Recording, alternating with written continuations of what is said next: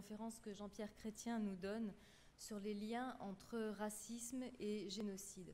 Jean-Pierre Chrétien est euh, directeur de recherche émérite au CNRS. Euh, il est un grand spécialiste de l'histoire de l'Afrique des Grands Lacs, d'abord Burundi, euh, puis Rwanda, au 19e et 20e siècle. Il a réalisé, publié de très nombreux ouvrages sur la question, sur la question du racisme, sur la question de l'ethnicité. Je vous recommande en particulier cet ouvrage publié en 2013 avec Marcel Kabanda, euh, euh, Rwanda, racisme et génocide. Mais euh, Jean-Pierre Chrétien ne s'est pas contenté, si j'ose dire, de cela.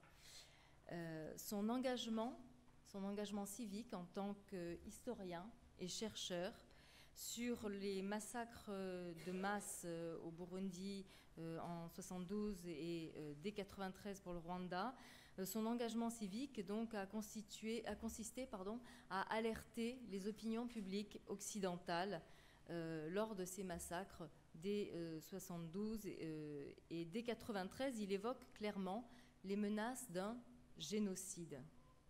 Alors je vous renvoie en particulier à l'article qu'il avait publié dans la revue Esprit en mars-avril 1993 sur ce sujet-là.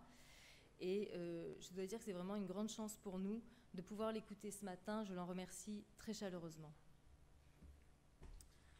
Euh, merci. Alors j'ai donné un sous-titre là qui est affiché sur le thème de ce que je vais tâcher de vous expliquer, que j'ai intitulé La constitution raciale des identités Tutsi et Hutu, le fondement donc idéologique on a parlé juste avant. Pourquoi il y a eu un génocide Le génocide de 1994. Au fond, euh, c'est essayer d'expliquer comment l'inouï, l'indicible, est, devenu, est apparu comme normal. Et de ce point de vue, il euh, faut quand même que je, me mette en garde moi-même et que je vous mette en garde vous-même sur le, le, rôle que, je joue ici. Je ne suis pas l'africaniste, comme on dit, qui va expliquer le génocide. Et après, quand vous aurez entendu mes explications, vous aurez tout compris, vous aurez compris quelque part que c'était normal. En fait, je veux, vous faire partager mes interrogations. Mes interrogations, ça ne veut pas dire qu'il n'y a pas un contenu, et pas me contenter d'énumérer des questions, mais enfin, c'est sur cette base-là. Et mes interrogations ne portent pas comme dans les travaux de Hélène Dumas sur la réalité du vécu au niveau des collines pendant le génocide, mais sur des mots. Comment on est passé, comme disait l'autre, des mots aux morts. Alors d'abord, euh, je pars de, l'actualité immédiate, c'est-à-dire de la tentation du déni, euh, encore aujourd'hui en France, et je pars d'une citation très récente de 14 mars 2019, l'amiral Langsad, qui était chef d'état-major à l'époque, c'est une interview dans le Monde Mediapart, il dit, à l'époque, on n'a jamais parlé de génocide, jamais le génocide, c'est une notion qui est apparue après. Et d'ailleurs, nous, c'est cela qu'on a voulu éviter. Je résume, vous avez le texte sous les yeux. C'est ce qu'on a évité au départ. On a commencé à parler d'un génocide seulement trois semaines ou un mois après l'attentat. Bon, je ne veux pas me mettre en avant, il y en a eu d'autres, hein, mais le 10 avril, sur RFI, avec Madeleine Moukamabano, on parlait bien de génocide. Bon. Mais sans doute, euh, les militaires ont des sources d'informations beaucoup plus sérieuses que celles des gens qui connaissent la, région. Et alors, une autre phrase que j'ai reprise là aussi, c'est quand il dit La France avait pourtant posé dans cette opération turquoise un principe de neutralité, être neutre vis-à-vis des protagonistes. Vous voyez ce que ça veut dire, être neutre face à un génocide. Et alors, je me pose une question pour, démarrer à partir de ce texte. Manifestement, c'est une habitude euh, de se justifier d'une politique. je ne vais pas développer sur la politique de la France au Rwanda, ce n'est pas, pas mon thème ici. Mais la volonté de se justifier en niant quelque part le génocide. Ça, c'est ça qui est inquiétant. Et je dirais que ce qui est encore pire, c'est, j'allais me dire, peut-être il est sincère. Peut-être peut il n'a vraiment pas vu que c'était un génocide, parce que c'était en Afrique. Donc, euh, je vais vous faire partager donc mes interrogations, mais vous voyez, c'est renouvelé, les, interrogations se renouvelées sans cesse face, confrontées à ce qu'on dit sur ce génocide. Alors effectivement, le déni Très rapidement, je rappelle que ça a consisté soit à dire que le génocide, peut-être euh, comme ça, oui, euh, était une péripétie tactique dans une guerre, ou bien c'était le produit d'un antagonisme atavique. Le, correspondant du Monde à Nairobi, Jacques de Barin, à l'époque, a parlé des, des Capulets et les Montaigu, qui été cultivé, monsieur de Barin. Euh, donc, un conflit ethnique naturel, ou bien, troisième thème, la colère justifiée d'un peuple apeuré confronté au retour des féodaux. Donc, sous différentes euh, versions militaires, euh, ethnographiques, euh, sociales, bon, on dénie la réalité même du génocide. On a tué les Tutsis pour ce qu'ils étaient. Et ce qui me frappe, et c'est pour ça que j'ai accepté de parler ici et que je suis heureux de parler ici, c'est qu'il me semble que euh, dans les thèses, dans les discours des gens qui veulent nier, au fond, plus ou moins ouvertement, la réalité de ce génocide, il y a un refus significatif, à mon avis, de parler du racisme. Au fond, le mot racisme, c'est pour ça qu'on l'a mis au titre hein, du, livre avec Marcel, ce n'est pas une, guerre qui mène à un génocide, c'est un racisme qui mène à un génocide. Hein, ce qui s'est passé pendant ce conflit, c'est un génocide. Et c'est cela qui est essentiel. Un génocide fondé sur un racisme lancinant, je vais donc développer, opposant des nègres bantous, j'emploie le vocabulaire de l'époque, les Hutus, et des Hamites, les Tutsis. Et en occultant du même coup le formatage mental qui a forgé cette discrimination durable. Et là, je cite très souvent la journaliste belge Marie-France Cros, qui avait écrit ironiquement dans la Libre Belgique le 1er juin 1994 Le racisme tutsi semble, dans notre opinion, de bonne loi. Alors, chez les Rwandais eux-mêmes, euh, je prolonge un peu des, échos, on a eu des témoignages de ce matin, il y a une identification difficile euh, de la haine raciste. Enfin, chez les bourreaux, parler du racisme, Jean Hatzfeld le cite, c'est le deuxième texte que j'ai affiché, dans une saison de machette, il écrit chez ses témoins qu'il a interrogés, il est beaucoup plus difficile d'aborder le sujet de l'antitoutsisme que de celui de leur premier meurtre. Et pourtant, ajoute-t-il, un génocide n'est pas une mauvaise broussaille, etc. Il y avait des radios qui nous rabâchaient, etc. Bon. Alors donc, le racisme, dès que vous voyez quelqu'un, rwandais ou euh, français ou autre étranger, qui, a, tergiverse pour parler de ce racisme, à mon avis, euh, c'est mauvais signe. Euh, d'où la naïveté, d'ailleurs, encore aujourd'hui, de certains chercheurs américains en particulier, qui s'appuient sur les propos des repentis dans les prisons, qui justement ne veulent pas trop parler de ce racisme pour dire que ce racisme n'a pas été trop grave. Alors, comme je l'ai dit au début, je vous fais partager mes questions. Je ne suis pas un expert, un notaire qui va normaliser des tueries. Et puis d'abord, je ne suis même pas spécialiste des génocides. Enfin, je suis peut-être devenu. Mais je suis avant tout historien de cette région d'Afrique au 19e et 20e siècle. J'ai commencé mes recherches dans les années 60. Euh, je vais y revenir, j'ai découvert assez vite ce problème du racisme, mais je ne suis pas venu étudier génocide, je suis venu étudier une société africaine, en l'occurrence plutôt le Burundi, mais le Burundi et le Rwanda sont comme des faux jumeaux qui se font, qui se regardent dans un miroir. Euh, Ce n'est pas la même chose et en même temps ça ressemble beaucoup. Alors, donc, euh, et puis je me suis exprimé sur le Rwanda euh, je, ne me suis pas exprimé sur le après le génocide de 1994, contrairement à ce que certains disent. C'est une réalité historique complexe que j'ai rencontrée, en fait, depuis les années 60, et donc je vais vous en faire part, dans mes recherches sur l'histoire du Rwanda et du Burundi. Donc l'évidence du génocide m'est apparue, je dirais, bien avant sa reconnaissance l'été 94. Mais c'est vrai que je n'ai pas répété sans arrêt génocide, génocide, génocide. Dans la revue Esprit en avril 93, comment éviter, on a été au lendemain de l'enquête de l'AFIDH et des propos de Jean Carbonard à la télévision. Hein. Bon, mais j'avais fait d'autres articles sur euh, ce qui menaçait d'arriver, mais je veux dire, on, hésite, on n'emploie pas le mot génocide à tout va, hein. mais le risque de ce euh, type de tragédie me semblait évident. Et donc, terminer sur mon introduction, hier nous avons visité Oradour. Pourrait-on comprendre Oradour sans connaître la conception nazie du pouvoir et de l'usage de la violence et de la guerre totalitaire. hein? Alors donc on est en présence, et c'est ce que je vais essayer d'expliquer, d'une idéologie de race aussi virulente et de même facture que l'idéologie antisémite, née également à la même époque, à la fin du XIXe siècle, donc l'idéologie amitique. C'est le sous-titre d'ailleurs du livre. hein. J'avais publié en 1977 déjà un article qui s'appelait Les deux visages de Cam.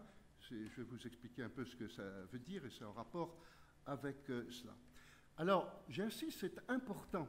Bon, évidemment, je ne fais pas une conférence sur quelque chose que j'estimerais non important, mais je veux dire, il y a beaucoup de gens qui en, parlent plus ou moins de cet imaginaire au tout Tutsi. Mais c'est comme si c'était un décor un peu folklorique. Mais non, c'est viscéral, c'est profond, c'est obsédant, c'est lancinant pendant plusieurs décennies. Alors, donc, on est en présence d'une histoire connectée entre cette région d'Afrique et l'Europe, parce que ce ne sont pas les Rwandais qui ont inventé l'idéologie amitique, où les acteurs ont été souvent des étrangers, mais de plus en plus des acteurs locaux. Donc, c'est l'histoire d'une idéologie de race bonne à penser, comme disait Lévi-Strauss, pour les Européens durant un siècle, et devenue bonne à penser pour nombre de Rwandais ensuite. Alors, euh, on passe, euh, oui, premier point. Alors, je vais essayer, mais de façon très résumée, de vous expliquer ce que veut dire idéologie amitique. Il s'agit de regards et de fantasmes qui tournent autour de l'Afrique des sources du Nil, donc des années 1860 aux années 1890. Donc ce n'est pas hier, c'est franchement avant-hier. Donc, on, disons, on parle du Rwanda sans que le Rwanda soit connu hein, à l'époque. Avant même qu'on ait pénétré au Rwanda, ni même parlé de lui. Et parmi les noms qu'on peut réciter, il y en a d'autres, hein, des archéologues, etc. Il y a le linguiste Ernest Renan, il y a surtout euh, Gobineau. Alors, euh, j'avais essayé d'expliquer ça, je résume en deux points. Vous vous rappelez que dans la jeunesse, Noé a trois fils, que Cam est considéré comme l'ancêtre des Noirs, que, euh, Cam euh, se conduit très mal avec son père, donc ça a été utilisé pour montrer qu'une malédiction pesait sur les Noirs, et donc que Cam, c'est l'ancêtre des Noirs maudits. Mais il se passe au milieu du 19e siècle un, euh, comment dire, un tournant scientifique qui est constaté par les, des auteurs à cette époque, un tournant scientifique, sur le thème camitique ou amitique. C'est-à-dire que des exégètes, des archéologues, des linguistes disent attendez, la jeunesse c'est bien gentil, mais les auteurs de la jeunesse ne connaissaient pas vraiment l'Afrique noire, pas plus qu'ils ne connaissaient la Chine ou les Amérindiens. Donc, en fait, le classement Cam, Sem, Japhet dans le, discours de la Genèse désigne des populations du Proche-Orient. Donc, les descendants de Cam, c'est plutôt, alors on va euh, énumérer Canaan, le Couche, euh, parce qu'il y a la généalogie biblique, c'est-à-dire des populations du Proche-Orient ou du Nil.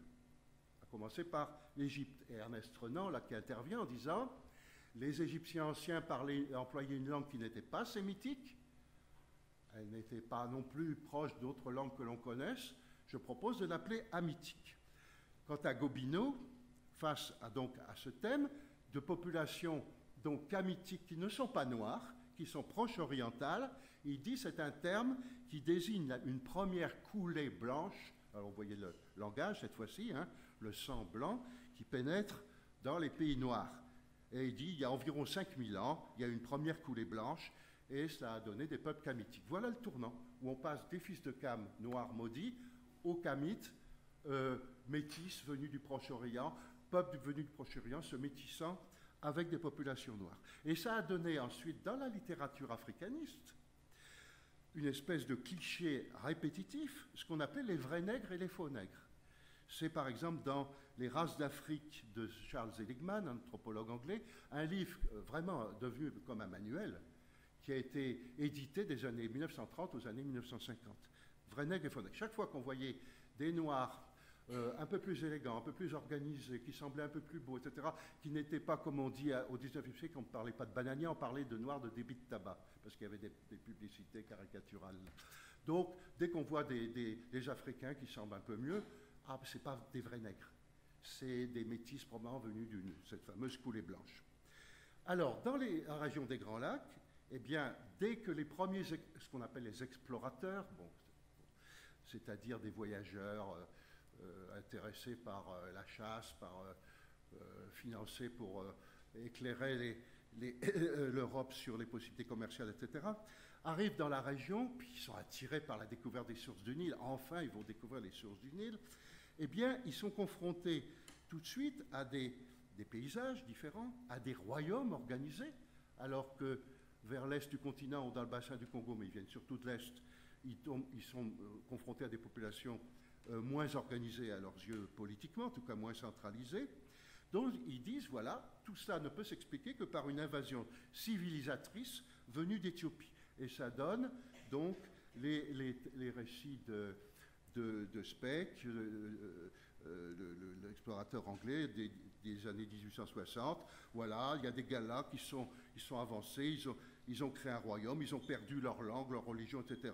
Mais on voit des traces dans euh, l'organisation des royaumes et même dans certains traits physiques, puisque dans la région des Grands Lacs, on voit des traits physiques différents. À vrai dire, on en trouvait aussi des traits physiques différents dans toute l'Afrique orientale, mais là, on va être très focalisé là-dessus en fonction du discours sociopolitique.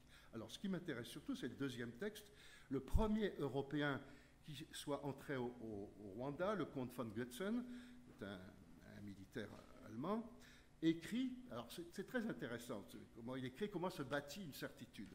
L'histoire du Rwanda est obscure et légendaire. Bon, entre parenthèses, il est passé quelques semaines. Hein. Il n'a pas fait des grandes enquêtes euh, du CNRS. Hein. L'histoire du Rwanda est obscure et légendaire. Nous entendons parler, nous entendons parler de grandes migrations de peuples amitiques venus d'Abyssinie et des pays galats. Aucun Rwandais n'a pu lui dire ça. Ce n'est pas possible. Aucun Rwandais ne connaît ni les Gallas, ni l'Abyssinie, ni les peuples ni etc qui, avec des troupeaux innombrables de vaches aux longues cornes, etc. Ah, il avoue, il est quand même honnête, euh, von Gossen, il ne peut que très difficilement, ou même pas du tout, vérifier si ces bouleversements remontent à 200, 500 ou 1000 ans. Mais il dit voilà, euh, c'est l'origine de cette aristocratie. À côté d'une classe dirigeante, nous trouvons la grande masse de la population implantée depuis des temps immémoriaux, les agriculteurs Bahutu, une tribu de nègres bantous. Donc, il reprend en fait Speck, il a lu Speck, et il reprend le discours qui justifie une organisation politique par une conquête étrangère. Et voilà la vulgate, j'allais dire politico-raciale ou social-raciale, qui s'installe dès le début du contact, avant même que, euh, en quelque sorte, les Rwandais connaissent les Européens et que les Européens connaissent vraiment les Rwandais, l'idéologie est en place. Alors, deuxième point, il n'y a, pas de texte là. J'évoque rapidement ce qu'était le Rwanda. le Rwanda, il existait, hein bon, vers 1880. Bon, c'était un royaume africain avec ses problèmes. Ce n'était pas un Éden. Hein. Il n'y a pas question de faire, euh, de, rêver d'un Rwanda merveilleux. C'était un, pays normal, si j'ose dire, à l'époque, dans sa situation géographique et historique. C'était une société agro-pastorale, beaucoup plus prospère d'ailleurs que celle des savanes ou de l'Est ou des forêts de l'Ouest, dont les sociétés étaient structurées, vraiment là je, donne des généralités très grandes, il y avait une double structuration entre une vingtaine de ce qu'on a appelé des clans, bon c'est très compliqué, entre parenthèses, dans chacun de, ces clans, il y a des Tutsis, des Hutus et des Tois. Bon, fermons la parenthèse et, vous voyez comment les choses sont compliquées. Donc il y a d'une part ce classement, ce classement clanique et d'autre part il y a le, classement entre des catégories, parce que le mot ethnie, le mot race sont tellement connotés, euh, des catégories, des batois, avec des catégories auxquelles on accorde des vocations, on peut dire. Hein. Les, les, batois, minorité, qui est plutôt bonne pour la chasse, la pêche et la poterie. Les Bahutus sont considérés comme des bons agriculteurs, bons forgerons. Les Batutsi comme des bons éleveurs. En fait, c'est très joli ce discours, mais il y a un chevauchement complet de tout cela, de ces deux clivages et de ces activités. Les Tutsis ne sont pas des pasteurs Maasai, à côté d'agriculteurs Kikuyu, comme au, comme au Kenya. Les uns et les autres ont des terres et mêlent agriculture et élevage. Alors, euh, mais il y a la politique. Il y a un royaume. Il n'y a pas de royaume de pouvoir politique sans qu'il y ait des guerres, des conflits, des antagonismes. Il y a un, royaume qui s'est construit avec la force hein, et une aristocratie politique qui est autour du souverain. Bon, il y a des, des, Hutus qui sont des gens importants. D'ailleurs, parfois, quand ils deviennent importants, ils se tutsisent. Bon, parce qu'il y a une image positive de, de l'identité Tutsi, puisque la dynastie elle-même est d'un clan Tutsi. Bon. Alors en plus, la situation quand même euh, au XIXe siècle, elle s'aggrave. Je ne vais pas rentrer dans les détails, mais il y a un durcissement des rapports sociaux, mais dont les victimes sont aussi bien des éleveurs Tutsi d'ailleurs que des paysans Hutus qui sont réduits à des conditions de corvéables particulièrement dures. Bon, donc voilà, il y a une situation, bon, qu'on peut analyser, qui n'est pas celle d'un paradis. Mais il n'y a pas d'antagonisme frontal ou tout Tutsi. Tout ne se réduit pas à ça. Hein. Alors, les colonisateurs vont arriver. C'est les Allemands, donc à partir de, de, la fin des années 90, début des années 1900. Donc ils prennent en charge cette société dans le cadre de l'Afrique orientale allemande. Ils pourraient, comme partout les colonisateurs, ils analysent la société, ils voient comment ils peuvent l'exploiter, la contrôler, etc. Mais euh, là, je dois dire que sans avoir eu le temps de faire une analyse sociale et politique réelle, ils avaient déjà les réponses. Le fantasme que j'ai évoqué précédemment. Voilà, nous avons les aristocrates amitiques venus d'Éthiopie et nous avons le peuple bantou nègre. Ils avaient tout de suite les réponses pour la façon de gérer cette société sans avoir à la voir de plus près. Et ça continuera longtemps, jusque, je reste à l'époque coloniale, l'époque, certains ont peut-être vu un jour Les mines du roi Salomon, un film des années 50 qui, a été tourné au Rwanda, même si le roman, lui, se situait vers le Zambèze, et, qui reprend cette image. Bon, alors voilà le Rwanda et les Blancs qui arrivent et avec leurs fantasmes. Ensuite, là, il y a des textes. On passe au, troisième. Euh, cette fois-ci, on passe à l'époque coloniale. Je prends les années 30-50 comme l'apogée de la période coloniale. Les Allemands sont partis depuis la Première Guerre mondiale, le colonisateur est belge. C'est une colonisation très spéciale, qui en fait, en fonction du fantasme qu'on a vu et de l'utilité qui apparaît de l'exploiter, euh, on veut reconstruire, enfin les missionnaires rêvent de reconstruire une féodalité chrétienne, mais qui va être là racialement définie, euh, définie amito-sémitique. Au fond, l'idéologie de l'idéologie mythique, ce sont les Pères Blancs qui l'ont euh, forgé parce que ce ne sont pas ni les militaires allemands euh, ou les civils administrateurs allemands, ni les administrateurs belges qui lisent toute cette littérature. Par contre, les missionnaires sont les clercs, comme on disait au Moyen Âge. C'est eux qui connaissent la littérature et qui savent comment il faut lire cette société. Et cela amène à considérer les Tutsis comme soit des chrétiens d'Éthiopie égarés vers le Grand Lac, soit comme des juifs de l'Afrique, d'où l'expression fréquente de sémito-amites. Euh, il y a même un sulpicien qui a écrit un manuel de la Bible très connu à l'époque, euh, Vigourou, qui explique que ce sont des couchites qui ont fui au moment de la chute de la tour de Babel. Alors parfois je dis, voyez, pour faire l'histoire du Rwanda, il faut vraiment remonter au déluge. Bon. Alors donc, ils ont fui la chute de la tour de Babel, c'est très important, parce que la tour de Babel, vous vous rappelez, c'est des hommes punis pour leur orgueil et leur, euh, vanité. Donc là, ça veut dire les Tutsis sont d'une race supérieure mais perverse. Donc, il faut s'appuyer sur eux, mais il faut les contrôler. Donc tout le discours, il est là, dans, ces fantasmes où la Bible est remise en, service quoi, auprès des, théories euh, qui se voulaient scientifiques sur les races. En plus, n'oubliez pas que les Pères Blancs sont dans toute la région. Donc, ils sont là au Burundi, ils sont là au Rwanda, ils sont là en Ouganda, ils sont là au nord-est de la Tanzanie, ils sont là à l'est du Congo. Donc ils font croiser les renseignements. Ils sont ceux qui disent la vérité sur l'ensemble. Hein. Alors, euh, donc euh, au Rwanda, il se trouve qu'il y a eu un évêque qui s'appelait Léon Classe, c'était un Lorrain. Enfin, au début, il était allemand, puisque c'était la Lorraine du côté de Metz. Euh, il a été, dès 1907, évêque de 1922 à 1945. C'est le grand, le grand bâtisseur idéologique. Hein. C'est-à-dire, il est porteur de ce modèle dans son application. Euh, il est, il faut le dire, au niveau des idées politiques françaises, grand admirateur de Joseph de Maistre, et il a une idée de reconstruction d'un ordre idéal, au, fond, hein. au sommet, les Européens et notamment les missionnaires, et le relais, les chefs Tutsis, et puis le peuple bantou. Alors, il écrit, j'ai donné un, texte là, euh, dans l'essor colonial et maritime, 1930, une revue coloniale, le plus grand tort que le gouvernement pourrait se faire à lui-même et au pays serait de supprimer la caste Mututsi. Donc, il interprète ça comme une caste. Une révolution de ce genre conduira le pays tout droit à l'anarchie et au communisme haineusement anti-européen. On est en 1930. Hein. Là, c'est l'obsession du communisme. Bon.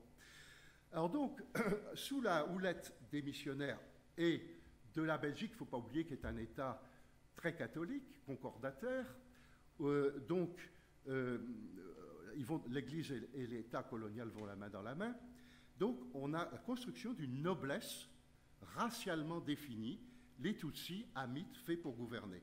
Et en face, les Hutus, un peuple bantou, fait pour travailler. Et peu importe toutes les nuances, toutes les contradictions, etc. Voilà, c'est comme ça. Et alors, donc, euh, on, assiste à la construction d'une inégalité structurelle ou tout aussi sur la base de discours racial. Alors, j'ai cité un texte, je ne vais pas lire, mais enfin, c'est pour la, comment dire, le pittoresque.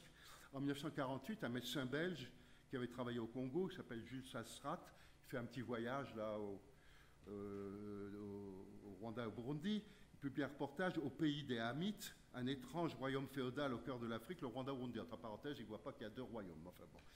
Alors, un répertoire de clichés. Les Batutsi, je, je reprends des phrases par-ci par-là, ce sont des Hamites en réalité, c'est une race de seigneurs. Alors, ils ont tous 1m90, ils sont élancés, ils ont les droits, les lèvres minces, ils sont distants, réservés, polis, fourbes, etc., etc. Le reste de la population est bantou, mais je signale que le mot bantou est un terme linguistique et que tout le monde parle la même langue bantou, le Kinyarwanda. Hein. Bon. Donc, c'est la vision raciale du terme bantou. Le reste de la population bantou, ce sont des Bautus, des nègres, qui en possède toutes les caractéristiques. Entre parenthèses, on est en 1948. Hein? on n'est pas en 1930. Mais là, en Afrique, tout est possible. Alors, nez épaté, lèvres épaisses, front bas, crâne brachycéphale. Vous vous rendez compte, c'est quand même trois ans après 1945, vous voyez ce que je veux dire il conserve un caractère d'enfant, à la fois timide et paresseux, plus souvent sont d'une saleté invétérée. C'est là la classe des serfs, et on bascule dans le social, la race des chefs existe d'eux de multiples formes. Bon, voilà la colonisation par rapport au modèle racial. On passe à la suite. Il y a une, révolution sociale, c'est le terme officiel, qui a lieu au Rwanda à la fin de la colonisation en 1959, qui va chasser la monarchie Tutsi. Je vais très vite, hein, je ne peux pas tout développer. Et qui met à la place une république Hutu. Vous avez une thèse magnifique.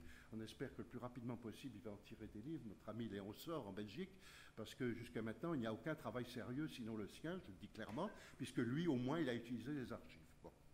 Alors, c'est la création, après la monarchie Tutsi, donc euh, censée guider le pays vers le progrès et vers le Christ, maintenant, on a, on a, on a trouvé que finalement, c'était le peuple Hutu qui était un meilleur guide pour aller vers le Christ.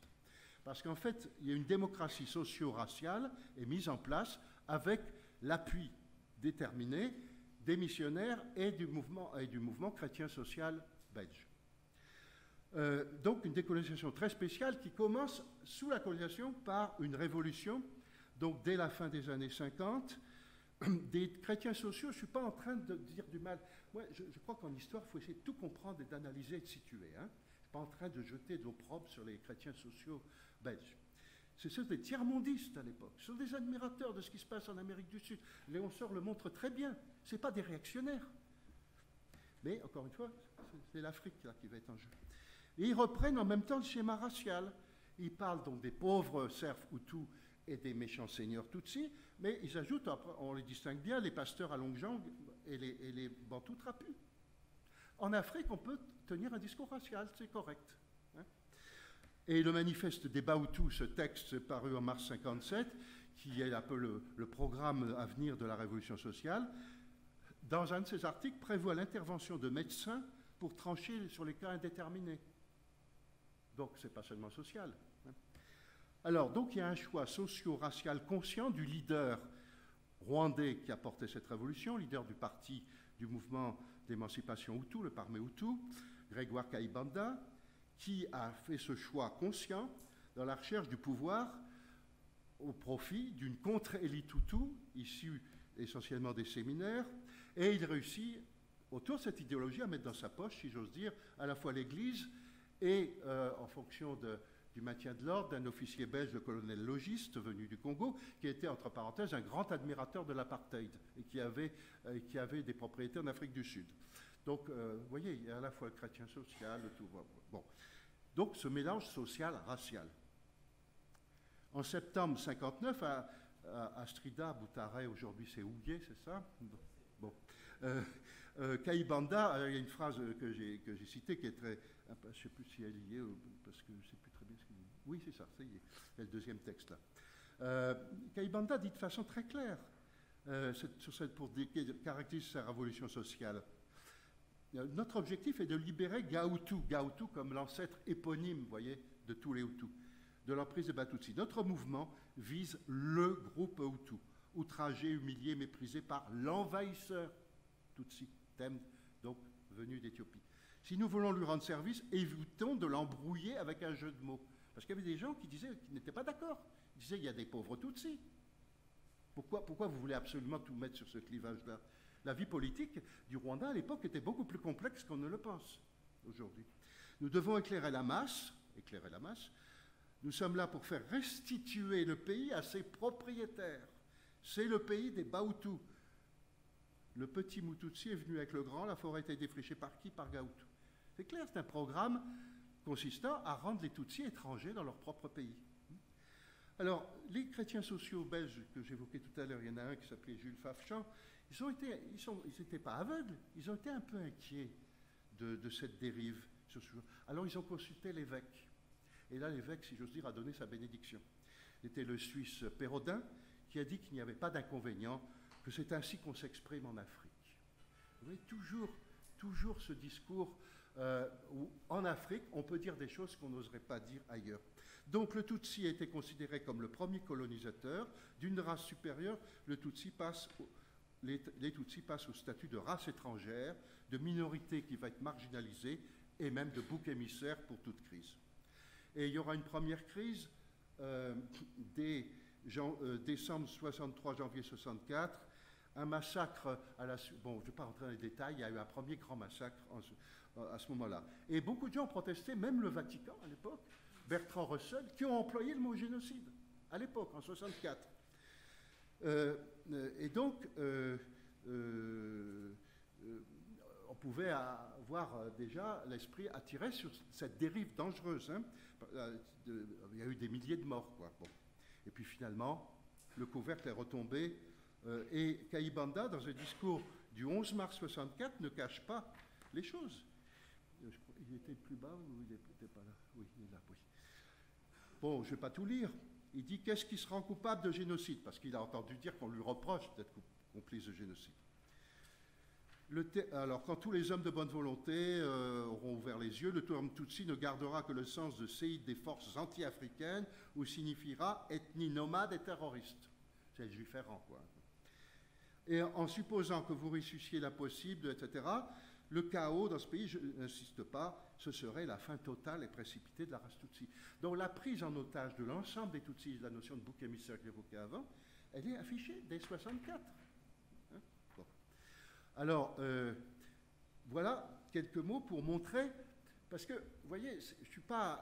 Euh, bon, je pourrais développer beaucoup de choses sur l'histoire de l'idéologie mythique, j'ai un fichier énorme de toutes les citations possibles, mais le problème, c'est pas c'est pas seulement de, voir le, parcours de cette idéologie, c'est de voir son fonctionnement. Comment elle a été intériorisée, comment elle a été mise en œuvre, comment elle est rentrée dans la tête des gens. Quelque part, j'avais écrit que Lucien Fèvre avait, donc dit qu'il était impossible de ne pas être croyant au Moyen Âge, parce que l'Église est là partout. Ben moi, je dis, il était impossible de ne pas être raciste au Rwanda. Impossible, c'était omniprésent. Omniprésent. Hein.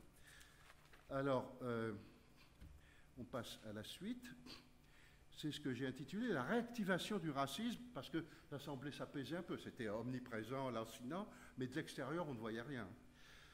Au début des années 90, et on va assister à une réactivation du racisme. Bon, euh, donc la République Hutu était passée de Kaibanda à militaire qui avait fait, c'était assez banal en Afrique, un coup d'État en 73, Abiyalimana. Donc, euh, mais c'était la continuité de l'idéalisation de la démocratie en, en Kinyarwanda, c'est-à-dire, comme euh, c'était dit ce, matin, la démocratie, c'est là où il n'y a pas de Tutsi, mais euh, là, disons qu'au moins, c'était où il n'y a que le peuple majoritaire qui, peut s'exprimer. Le peuple majoritaire, Nyamwinchi. Euh, c'est vraiment, c'est comme une essence d'être majoritaire. On est majorité ou on est minorité, comme ça, à la naissance. Hein. bon. Alors, et ça n'empêchait pas des tas de gens très bien en Europe de trouver que ce régime était démocratique, adapté, etc. Je ne vais pas m'y attarder. Je veux surtout parler du début de la crise elle-même, des années 90. Donc ça commence à la fin des années 80, des difficultés économiques, politiques, etc. Et en même temps, le réveil d'une propagande extrémiste. Kangoura, le, le, euh, bimensuel Kangoura est créé euh, dès 1990. Et euh, très vite, on voit très bien de quel bois il se chauffe, si on peut dire, c'est ce racisme. C'est le retour à la machette comment définitive. Alors ça c'est ça, est-ce qu'on a, bien l'image, il faut passer à l'image, voilà. Bon, alors euh, c'est paru en, en, euh, décembre, non, c'est en 91, en novembre 91 je crois.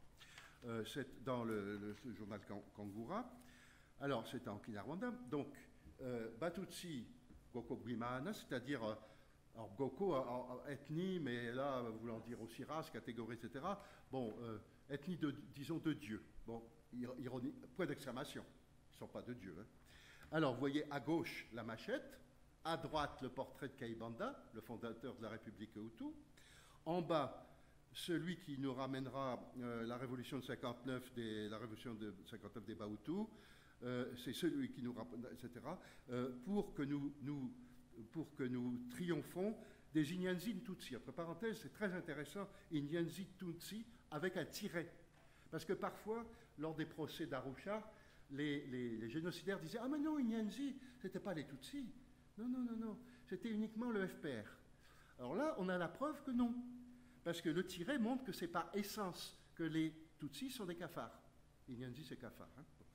Alors, et sur le côté, euh, euh, voilà, euh, c'est l'outil, c'est la machette qui est commentée.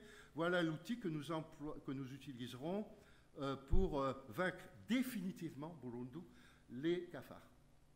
Si ce n'est pas un programme d'éradication des Tutsis, en, fin 91.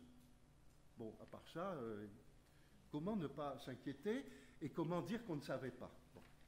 Alors, donc, ce que je voulais ce qu'on a développé beaucoup dès 95 dans le livre qu'on a fait avec euh, Jean-François Dupaquier, euh, Marcel Camada, etc., euh, sur les médias du génocide, sur la base des journaux extrémistes et des enregistrements de RTLM qui ont pu être trouvés, les médias du génocide, eh bien, on voyait très bien que toute une propagande structurée se développait dans les années précédentes et pendant le génocide à la RTLM. Alors, souvent j'insiste là-dessus, j'y reviens, c'est l'aspect moderne, argumenté, structurel de ce racisme. N'est pas une haine ethnique, c'est pas ces sauvages de, Tutsis, ces épouvantables Tutsis venus des montagnes. Non, c'est. Alors, voilà les citations quand même. L'organe du parti MRND, Umukwana euh, le militant en avril 91. Il y a des réalités auxquelles on ne peut échapper sauf quand on veut jouer de la dissimulation, comme par exemple changer d'ethnie. Dès qu'on te découvre, tu es confus et tes frères n'hésitent pas à te traiter de chien. Tu peux appartenir à une ethnie sur les papiers, c'est-à-dire les fameux papiers d'identité, sur lesquels sûrement on aura l'occasion de revenir, mais dans quelle veine puiseras-tu le sang de cette ethnie? Si ce n'est pas un racisme moderne, ça. Les, comment dire, les organisateurs de la propagande, ce n'étaient pas des, abrutis dans un coin, c'était des gens instruits qui, savaient de quoi ils parlaient. Hein Alors, en 1992, en Kangoura, sa version internationale, il fait appel à la conscience bantou. Vous êtes une ethnie importante du groupe bantou, etc. etc., etc. La nation est artificielle, l'ethnie est naturelle. On dirait un titre d'exposé d'extrême droite ou je ne sais pas d'où. La nation est artificielle et l'ethnie est naturelle. Kangoura, mars 93, alors c'est encore plus beau ça, un cafard ne peut pas donner sens à un papillon. Et c'est vrai, dit le, le journaliste un cafard donne naissance à un autre cafard. Pourquoi on n'aurait pas compris? L'histoire du Rwanda, il nous explique, nous montre clairement qu'un Tutsi est demeuré identique à lui-même, qu'il n'a jamais changé. La malice, la méchanceté sont celles que nous connaissons dans l'histoire de notre pays. Les spécialistes de la génétique humaine nous disent que la faiblesse démographique des Tutsis, ce qui est idiot, hein, la démographie des, des Hutus et des Tutsis dans l'ensemble du pays était analogue, euh, nous disent que la faiblesse démographique des Tutsis est due au fait qu'ils ne se marient qu'entre eux, ce qui est également faux. Cette façon de se rechercher peut les faire disparaître de la terre. Est-ce qu'on dira que ce sont les Tutsis qui, les ont découpés? Attendez, ils vont encore nous parler de génocide alors qu'ils préparent eux-mêmes leur propre génocide sur une base démographique. Vous voyez, mais, c'est quand même une propagande assez, assez perverse et assez savante. Mais il y en a beaucoup d'autres de ce genre. Alors, euh, bon, je trouve la suite de mes papiers, parce qu'on ne va pas en rester là je, excusez-moi, quand on manie les papiers, il y a toujours un moment où ça s'en mêle. C'est pour ça que les enquêtes orales, c'est bien aussi. Hein. Bon, alors, on n'a pas besoin de classer les papiers. Alors, si, finalement, les enquêtes orales se transforment en papier. Alors, j'ai donné une citation aussi importante de la RTLM, parce que quand même, on est là pour parler du génocide. C'est sur cette base idéologique, le fait que le peuple majoritaire, je vous expliquais l'importance de ce mot, est le bouclier. Et il y a cette fameuse émission du 3 avril, quelques jours avant l'attentat, le journaliste Noël Hitimana reprend euh, donc euh, une sorte de prophétie. Il annonce qu'une petite chose à Kantu va bientôt se déclencher et que va se déclencher une lutte finale, Simusiga, c'est-à-dire qui n'épargnera personne. Alors, il y a des agents, je crois que c'est ça, hein, oui, voilà. Il y a des agents qui nous font parvenir des informations, etc. Que le FPR sache que tout est de sa faute, etc. Le peuple, voilà le vrai bouclier. C'est la véritable armée qui est forte. Donc le peuple qui l'évoque, ce sont les miliciens, les gens qui s'entraînent, les, gens qui ont des armes, les gens qui sont entrés dans le système dit de l'autodéfense. Alors là, ça renverrait à beaucoup d'éléments hein, de l'organisation du génocide. Le peuple, voilà le vrai bouclier. Moi, je m'intéresse à la propagande ici uniquement. Hein. C'est la véritable armée qui est forte. Les forces armées combattent, mais le peuple, lui, dit Nous tenons vos arrières. C'est nous le bouclier. Le jour où le peuple va se lever et qu'il ne voudra plus de vous, vous les Tutsis, qu'il vous haïra à l'unisson du fond de son cœur, je me demande par où vous vous échapperez, par où vous pourrez passer. Bon, vous savez que la RTLM, à un moment, s'est intitulée l'état-major des mots. Vous avez conscience de... C'était un but de leur rôle. Hein. Alors voilà la propagande. Alors, c'est important. Il y a les travaux d'Hélène Dumas sur les formes de la violence qui montrent que ces formes ne sont pas anodines, qu'elles sont bien associées à une idéologie. Il y a cette propagande, il y a aussi une sociologie, il faut que je vous évoque rapidement quand même euh, une étude d'un sociologue belge qui s'appelle Peter Verwimp, une étude publiée en 2003. Il a fait des sondages sur euh, des échantillons de population dans trois préfectures du centre-ouest euh, pour essayer d'analyser les, comment dire, d'analyser sociologiquement, en fonction de leurs origines, les, les morts des, des massacres de de euh, l'époque 90, 94, y compris les pogroms qu'il y a eu avant, etc. Alors il constate que un tiers des foyers Tutsis ont été totalement exterminés en 94. Là, c'est essentiellement 94. Un tiers des foyers Tutsis ont été totalement exterminés, très souvent le même jour et au même endroit, ce qui montre que ce n'est pas une mortalité diffuse, et que seulement 8,3% des foyers Tutsis n'ont perdu aucun de leurs membres. Il dit, voilà un modèle génocidaire. Et il dit, les Hutus ont perdu aussi des leurs. Il y a eu une guerre civile, il y a eu des représailles, etc. Mais euh, il constate que 91% des foyers Hutus sur la même région n'ont perdu aucun de leurs membres de mort violente. Donc, ça ne veut pas dire qu'il n'y a pas eu de mort Hutu.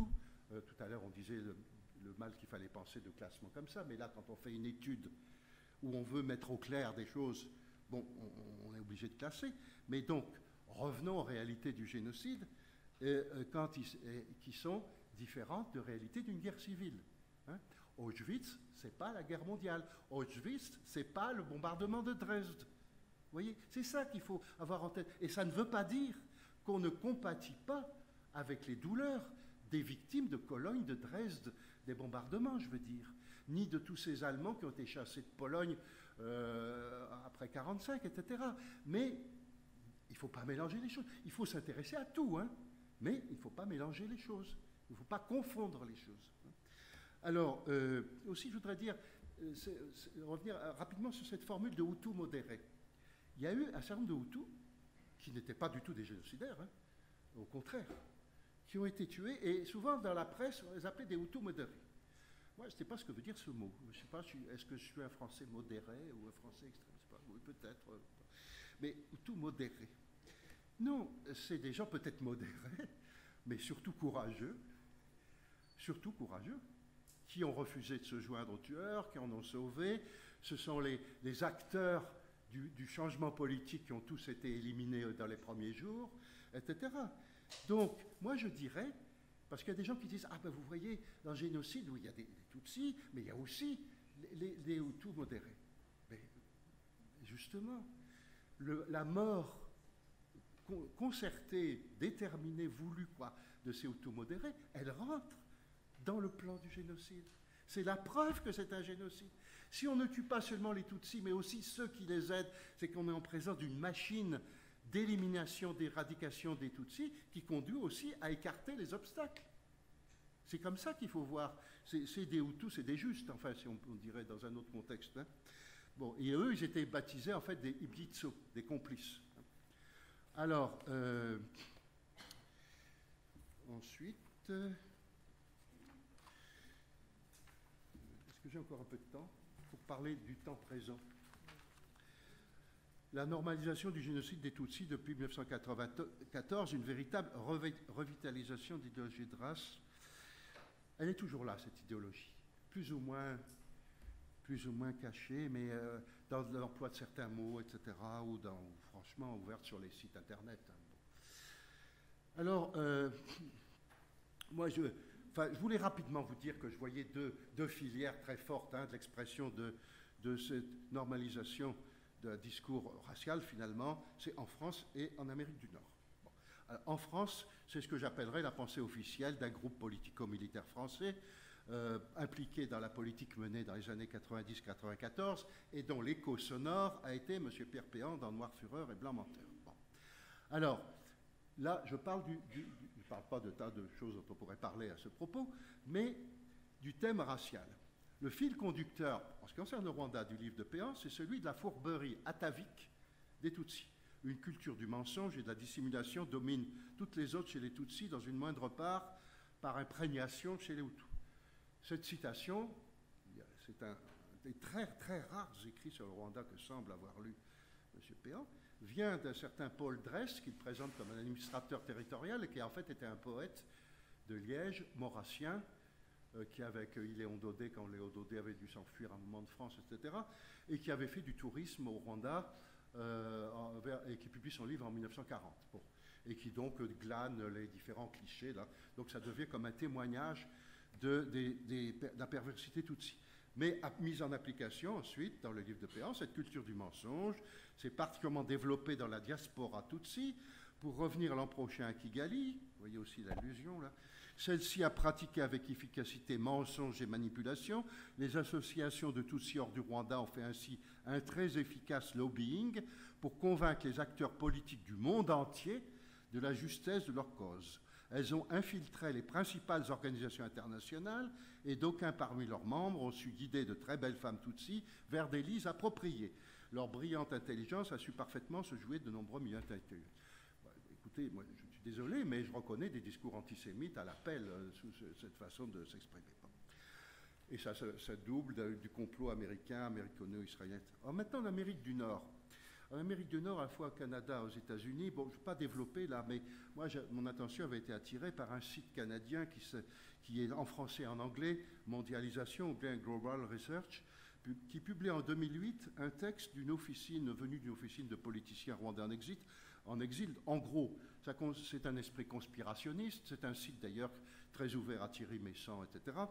Et donc ça consiste à dire que le génocide n'est qu'un épisode dans le cadre d'une guerre inavouable menée en Afrique centrale par le président Museveni, avec le soutien et l'appui des États-Unis, de la Grande-Bretagne et d'Israël, dont le FPR n'est qu'un outil. Donc le génocide des, des Hutus des Tutsis, pardon, le génocide des Tutsis aurait été provoqué cyniquement par le FPR lui-même pour justifier le génocide des Hutus commis ensuite au Congo, qui aurait été lui-même dûment planifié afin de créer un grand empire nilotique en Afrique, un nouvel Israël pour les Américains. Bon, Pierre Péan reprend cette thèse telle qu'elle dans le livre Carnage en 2010. Alors, euh, euh, bon, il y a donc des pistes comme ça qui entretiennent ce discours sans remettre en cause quoi que ce soit dans une idéologie de race qui est bien connue, bien critiquée, bien connue, analysée historiquement, peu importe, elle fonctionne et en avant. C'est ça qui, moi, m'énerve, comme dit parfois Pierre Galinier, euh, parce qu'on dirait que le travail des chercheurs ne sert à rien, qu'on peut dire tout et n'importe quoi. Maintenant, vous me direz que l'idéologie antisémite, elle continue à fonctionner c'est la même chose. Hein. Alors, euh, moi, sur quoi je voudrais attirer l'attention, c'est que la notion de double génocide nous renvoie toujours vers le duo ethnique, en fait. Il s'agit de dire toujours que ça marche par deux. Les uns sont criminels, les autres aussi. Hein. Je conclus. Le Rwanda n'est pas exotique. C'est notre histoire aussi. La tragédie de 94 a été, j'ai envie de dire aussi, c'est comme il y a 25 ans, il s'est passé beaucoup de choses par le monde, y compris chez nous. Elle était prémonitoire, je trouve, d'une dérive plus générale dans notre propre histoire. Euh, euh, bon, il y a un retour d'une lecture raciale de cette région d'Afrique. Mais c'est pratique, au fond, de développer du racisme sur une région lointaine que personne ne connaît, ou presque. Donc on joue d'une vision exotique, à la fois ethnique, tantôt ethnique, tantôt humanitaire. Donc l'aveuglement est possible. Donc, euh, voir la complicité par l'éloignement, etc. Donc, en fait, une vision exotique confortable pour, développer des, thèses insupportables. C'est loin, de toute façon, puis là-bas, vous savez, ils sont comme ça, c'est l'Afrique. Je crois qu'un qu'il y a un politicien français très lié à la politique de Mitterrand qui a dit un jour, un journaliste français, mais vous ne connaissez pas l'Afrique, c'est comme ça. Alors, le syndrome Hutu-Tutsi est une étonnante passion. On dirait que le monde entier, pour certains, se, divise en pro-Hutu et pro-Tutsi. Et moi, je dis, encore je répète ce que je viens de dire, l'Afrique comme terrain de jeu de la poursuite insidieuse ou de la réactivation d'idéologies extrémistes qui avaient été dévalorisées au lendemain de la Seconde Guerre mondiale.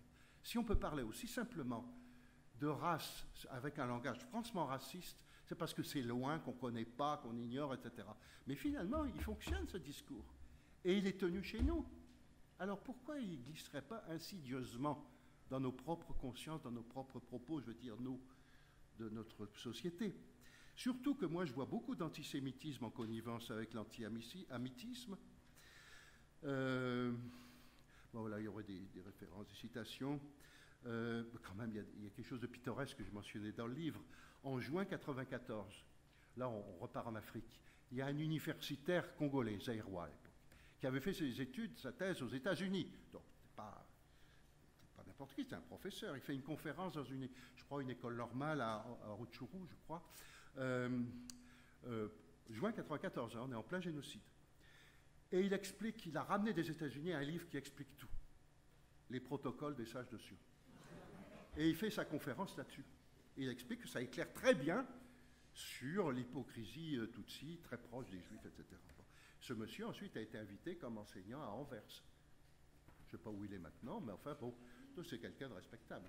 Bon, mais c'est loin. Qui connaît Rutshuru Qui connaît son discours? Son discours a, été connu d'une part par un, un, un, Teguera, un, historien euh, congolais qui a fait sa thèse sur le Nord Kivu, qui a retrouvé le texte et tout, mais il est évoqué aussi dans un livre d'un romancier euh, euh, flamand, livre Joris Les Rebelles, qui évoque cette scène absolument inouïe.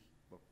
Alors, euh, j'ai envie de dire, écoutez, moi je vais être un peu politiquement incorrect dans tous les sens, parce que ces safaris idéologiques là, où les races fonctionnent, mais ça fonctionne un peu partout dans, nos, mouvements politiques quand même à l'extrême gauche comme à l'extrême droite. Excusez-moi, oui, je pourrais donner des citations. Comment c'est facile pour l'Afrique, si on croit défendre une thèse qui nous intéresse, nous, de jouer, de jouer allègrement avec ces, avec ces schémas? Je me suis rappelé qu'il y a eu un fort antisémitisme de gauche en France au milieu du 19e siècle, avec Alphonse Tousnel, les Juifs rois de l'époque, qui est rediffusé sur le site d'Alain Soral qui n'est pas d'extrême gauche. Vous voyez les, passerelles. Et moi, quand je, pour préparer le livre, je furetais un peu Internet, j'ai vu plein de passerelles comme ça, rouge-brun. Et puis alors, c'est là je vais être franchement, je crois, incorrect, c'est que on a des problèmes en France pour faire reconnaître clairement qu'il s'est passé un génocide, etc., avec des groupes étiquetés à gauche. Nous avons de gros problèmes avec la Fondation Georges Jaurès suis désolé. Je suis désolé. Cette fondation que j'estime beaucoup s'est trouvée un expert maison dont personne ne sait quel est le parcours. Et alors, je ce que, euh, reprends ce que je disais au départ, comme si pour justifier, bon, on peut expliquer la politique française, je ne vais pas développer ici, hein, de toutes sortes de façons, mais comme si, pour la justifier, c'est grave ça, il fallait absolument créer le doute sur le génocide. Ça, c'est inquiétant, s'il faut vraiment en aller jusque-là. Hein. Alors, euh, donc, euh, et puis tous ces safaris idéologiques actuellement, tous les populismes radicaux, la priorité des identités raciales ou historiques sur les options politiques ou les mouvements sociaux. Vous voyez tout ce que je tout ce que j'ai en tête et qui m'effraie, qui nous effraie tous, je crois. Bon, et puis je voudrais aussi savoir, je vais terminer, pourquoi on n'arrive pas, euh, n'arrive pas à trouver d'éditeurs aux États-Unis pour traduire en anglais notre livre. On a un problème, c'est pour ça que tout à l'heure j'évoquais l'Amérique du Nord. Ça pourrait entraîner vers d'autres considérations. Bon, allez.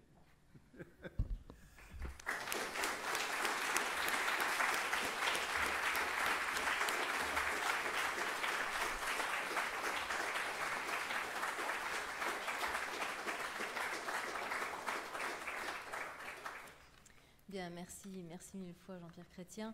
Je crois qu'il nous reste un petit peu de temps avant la pause pour quelques questions sur ce sujet euh, euh, fondamental hein, des liens entre ce racisme que vient d'exposer euh, Jean-Pierre Chrétien et, et, le racisme en acte dont nous parlerons en début d'après-midi. Alors donc des micros vont circuler.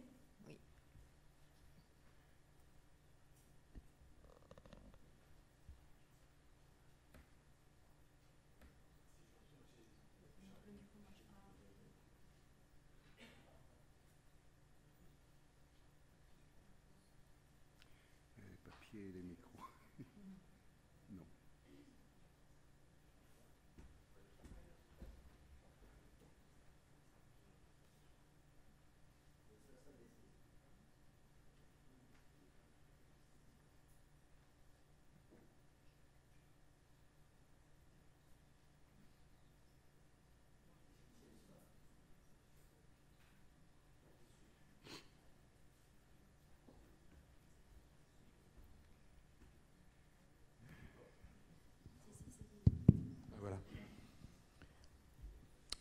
Poser une question euh, de profane qui revient au, tout début de ton exposé.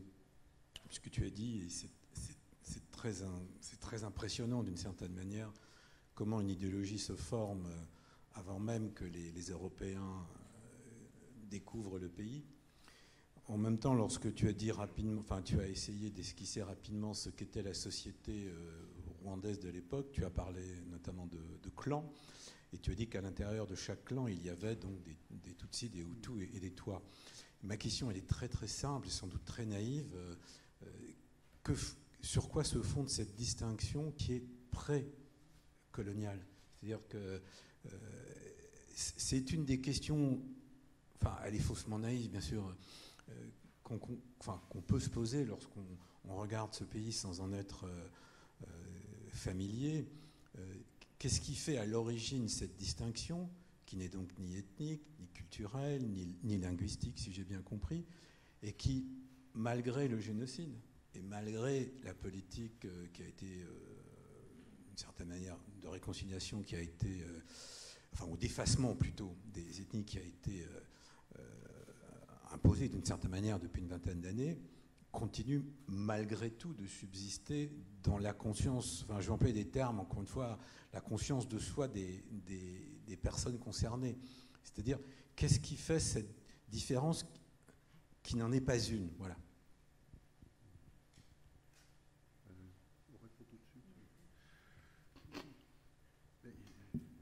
C'est une question vraie, et, enfin pertinente et embarrassante. Euh, alors, dans le, dans le, regard des Européens, je crois que, en premier lieu, ils ont l'image des cours royales et princières.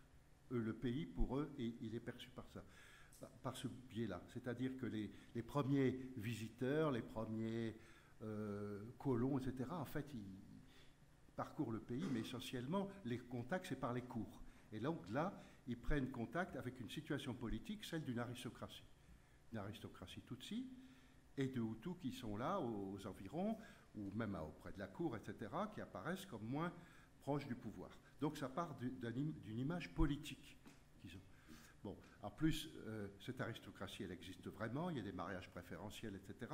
Bon, donc il y a, une couche sociale euh, tutsi. Maintenant, justement, ce clivage hutu-tutsi, toi, disons qu'il est profondément culturel. il est au cœur d'une culture est au cœur de culture. Euh, euh, je me rappelle, je ne sais plus, d'une enquête orale où euh, c'était au Burundi, mais je ne sais plus qui disait face aux Allemands, ici c'est le Burundi, c'est ce pays où il y a des Hutus et des Tutsis. C'est-à-dire, ah, le Burundi aussi d'ailleurs. Hein. mais c'est-à-dire qu'on est de tel clan, on est de telle catégorie. c'est culturel, ça. Enfin, il faudrait plonger dans toute la littérature anthropologique, aussi bien sur l'Amérique euh, précolombienne que, l'Océanie, etc., où tu vois toutes sortes de structurations de société, des moitiés, etc., des, clivages sur lesquels est fondé le, rapport, le, rapport social. Et on n'a aucune explication sur l'origine. Alors ça, le discours d'origine, alors non, il n'y a aucun récit d'invasion, il n'y a rien du tout euh, de, de, ce point de vue. Bon. Alors, c'est profondément culturel. Ça se double, alors, notamment dans le cas du Rwanda. Au Burundi, c'est un peu plus compliqué, c'est pas un hasard aussi si l'histoire du Burundi est différente, euh, même si elle a été contaminée, si on peut dire, par le modèle rwandais, ça, ça d'autres considérations. Euh, donc, euh, ce clivage culturel prend signification politique. C'est-à-dire, alors ça, c'est depuis on pourrait quand même se demander si ce n'est pas surtout depuis le XVIIe, XVIIIe siècle, en fonction d'éléments des, traditions orales. C'est-à-dire le fait qu'il y a une dynastie Tutsi, des, des, lignages Tutsi alliés, etc., une aristocratie Tutsi qui s'est créée. Donc l'identité Tutsi, elle est plus positive. Donc il y a un contentieux qui peut se créer à ce moment-là sur cette base de, l'opposition est une aristocratie. Mais encore une fois, l'aristocratie, c'est 5-6% des Tutsis. Hein. bon. Euh, et, au fond, il faut attendre la colonisation pour que systématiquement tous les Tutsis soient privilégiés. Bah, avant, c'est beaucoup plus compliqué. C'est pas comme ça que ça se passe. Alors moi, j'ai du mal à répondre. c'est là, c'est culturel. Et c'est difficile de dire il n'y a plus ni Hutu ni Tutsi. Le problème, ça serait peut-être justement, euh, est-ce possible d'aller en amont du génocide en amont aussi de, la royauté, etc. De dire, dans les chez les Banyarwanda, il y a des Bahutus, des Batutsi et des Batois. C'est une vieille histoire. Est-ce que c'est tellement important Peut-être d'arriver à relativiser aujourd'hui? Mais c'est au cœur de tradition. Hein, je ne sais pas comment te, répondre clairement. C'est embarrassant. Souvent vient cette question d'aller Je, poursuis. Merci Jean-Pierre de cette, euh, euh, conférence extraordinairement vivante, drôle par certains côtés, sinistre en même temps qu'elle est drôle. Euh, et je retiens deux points. D'une part, cette idée, je crois, absolument essentielle de l'intériorisation du racisme et des deux côtés. C'est l'intériorisation du racisme par les acteurs sociaux, le fait que ce racisme de a été hautement performatif. Je trouve qu'on n'y assiste pas suffisamment comme si c'était effectivement un décor euh, idéologique qui n'a pas de, de, performativité dans euh, à la fois la pensée et l'agir hein, des acteurs sociaux. je trouve que c'est point très important. Et c'est la première fois que j'entends, c'est peut-être une grande naïveté de ma part, euh, cette notion de safari idéologique que j'ai trouvée parfaite. Je souvent employé. Tu ah, excuse-moi, j'aurais dû le. c'est la première fois que je l'entends dans ta bouche.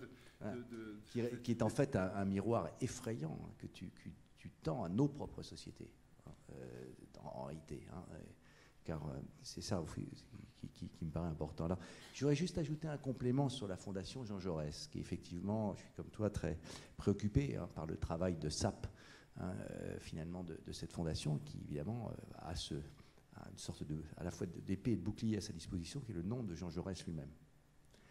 Euh, il se trouve que j'ai pris rendez-vous avec eux l'année dernière, donc à l'occasion d'une table ronde sur autre chose, pour rencontrer justement le, responsable des relations internationales qui, m'a reçu. Donc je m'étais évidemment euh, préparé à, une rencontre euh, que je prévoyais comme difficile.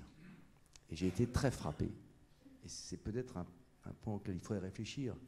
J'ai été très frappé du désarroi dans lequel ils sont l'absence d'arguments, euh, et un seul d'ailleurs, que oui, qu'ils écoutent effectivement. Je, leur disais que progressivement, ils allaient se retrouver tout seuls, comme une, île, comme une île déserte, cernée finalement par, euh, tout simplement par la vérité.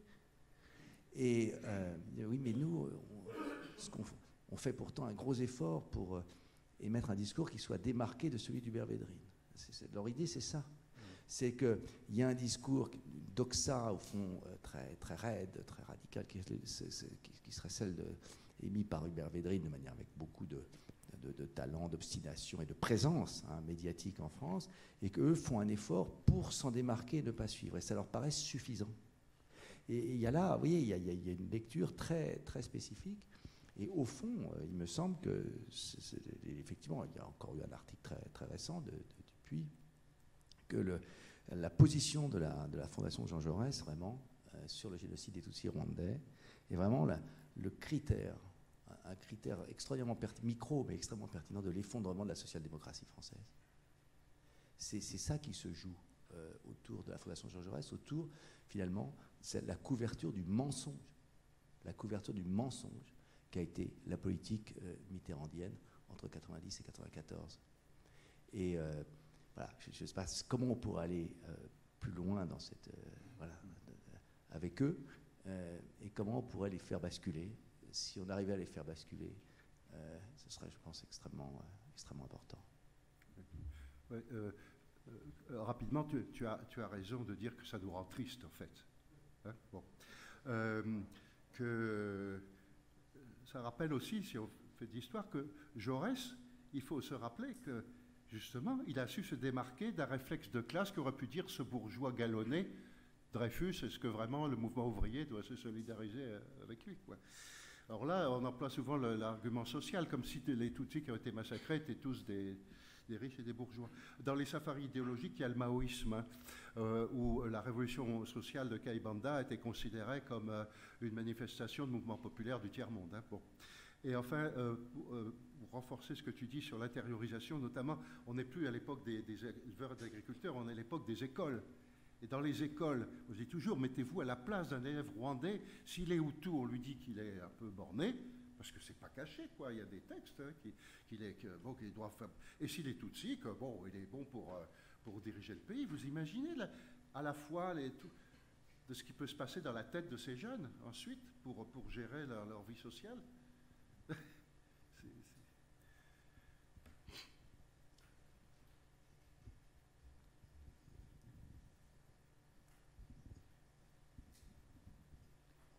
Oui, euh, juste pour reprendre par rapport à ce que dit M. Rouzou sur la Fondation Jean Jaurès, en fait, moi, j'ai l'impression que le discours de Védrine, j'ai pas l'impression, Védrine cite euh, Reinhardt, le, négationniste belge, et à la Fondation Jean Jaurès aussi, ils, ont les mêmes sources négationnistes.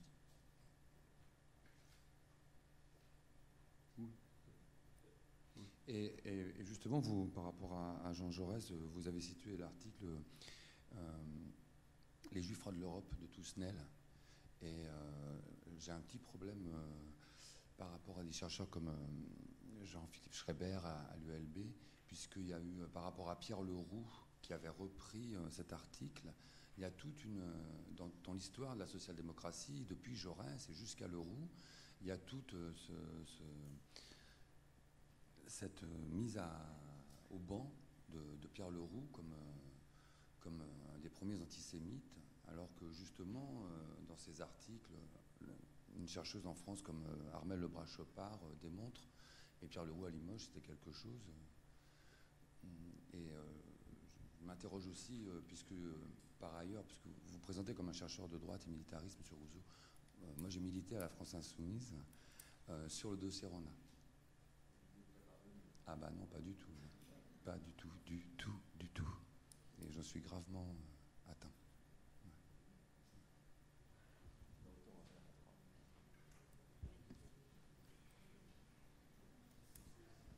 Voilà, merci. C'est pour euh, remercier, remercier euh, Jean-Pierre Chrétien sur euh, ses recherches que pour nous sont très importantes. Quoi. Alors, c'est-à-dire, je mets ici une inquiétude. je dis maintenant, j'enseigne l'histoire, l'histoire chez moi. Eh bien, ce que nous remarquons, c'est ce qu'il nous a dit ici. donc, les hypothèses, les hypothèses des anciens euh, anthropologue, missionnaire ou colonisateur, et hypothèse qui, devient une vérité, une vérité historique. C'est ça un grand problème que nous avons eu. Eh bien, des, missionnaires suisses, euh, ou bien tout simplement des, des, touristes français qui venaient pour photographier les oiseaux ou bien compter les, escargots de la mer euh, Victoria et après qui devenaient des spécialistes de l'Afrique au niveau anthropologique. Donc ça, nous a frappé beaucoup. Donc les hypothèses qui deviennent des vérités historiques sans être éprouvées scientifiquement. Au niveau, par exemple, le, déplacement des peuples, donc tout ce qu'il a dit là-bas, euh, des Hutus, des Tutsis, eh bien, ce sont des hypothèses anthropologiques qui sont devenues des vérités et maintenant qui sont la base du génocide. Une autre chose qui m'a étonné dans ce que vous avez dit, eh bien, s'il vous plaît, c'est euh, la Bible. Donc, quelques passages bibliques.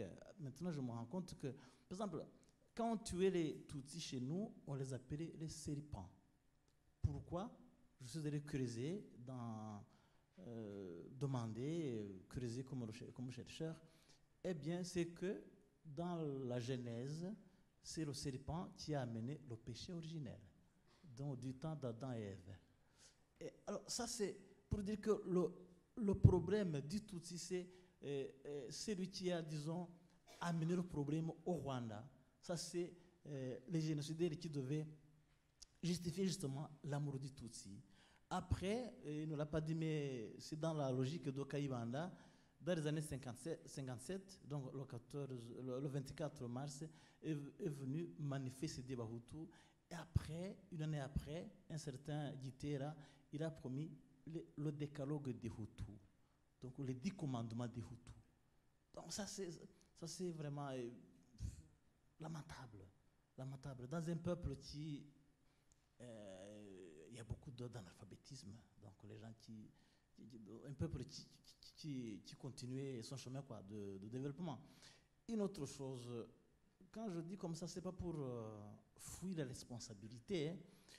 Notre génocide, je dirais que le fond, le, vrai fond, vient de l'Europe. Dans quel sens? L'affaire de la majorité-minorité. Ça, c'est la, démocratie européenne. Alors, nous, euh, il a mentionné un évêque, Monseigneur André Perrodin, qui est un évêque euh, suisse, il est déjà décédé, ça fait déjà dix ans. Eh bien, c'est lui qui, avec Kayibanda justement, le, deuxième président rwandais, comme tout le premier, euh, était des anciens séminaristes eh bien, c'était euh, euh, une, manipulation d'un peuple euh, avec des procédés démocratiques qu'on ne comprenait pas. C'est pour cela que justement, notre démocratie, entre guillemets, a pris la connotation ethnique. Alors, imaginez-vous, une démocratie basée sur l'ethnie. On est, ce qu'il a dit Jean-Paul Chrétien, Jean-Pierre Chrétien, comme il a dit, on est dans la majorité, on est dans la minorité. Donc ça, c'est euh, une démocratie, j'allais dire, innée. Ça, c'est une honte, une honte, une honte. Pour terminer, on a parlé des Hutus modérés. C'est pour expliquer ceux qui ne le savent pas. Eh bien, il y a un moment où les, les Hutus euh, invitaient les autres à être extrémistes. Alors, les Hutus qui ont refusé euh, l'extrémisme, disons, qui ont refusé et de dénigrer les Tutsis, eh bien, se sont considérés comme des Hutus eh, modérés. Alors, politiquement, ça a joué parce qu'on connaît qu'il y a des Hutus vraiment qui ont refusé le génocide, qui ont lutté contre le génocide. Et malheureusement, il y a beaucoup, de Hutus qu'on a tués parce qu'ils eh, ont refusé d'adhérer au génocide.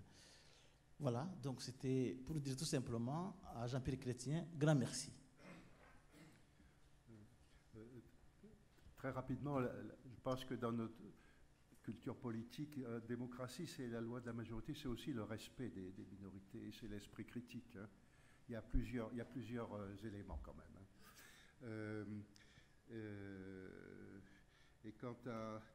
Non mais cette histoire de tout modéré, c'est quand même pervers parce que on peut, on peut sans, le vouloir, quoi, se trouver un peu piégé. Ça veut dire quoi?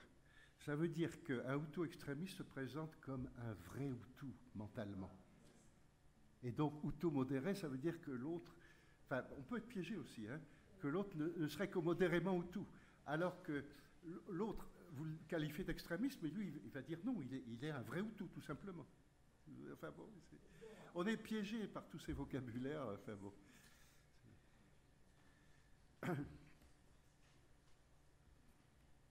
Bien. Eh écoutez, je vous remercie euh, pour cette matinée euh, très très riche. Euh, je vous propose que nous nous arrêtions maintenant. Nous nous retrouvons à 14h30.